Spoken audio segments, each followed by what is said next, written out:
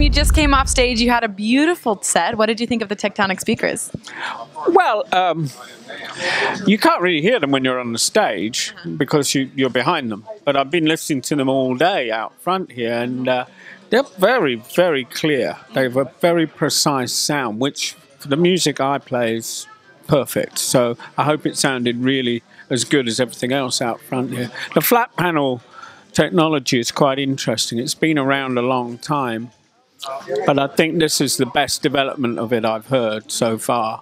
What do you think is different from these from the other flat panel technologies? Well, they probably won't tell you that because it's probably patented, and but for some, That's a good sign. They've got somehow they've got it to they've developed it really well and got it to work as good as uh, or better than normal speaker cabinets.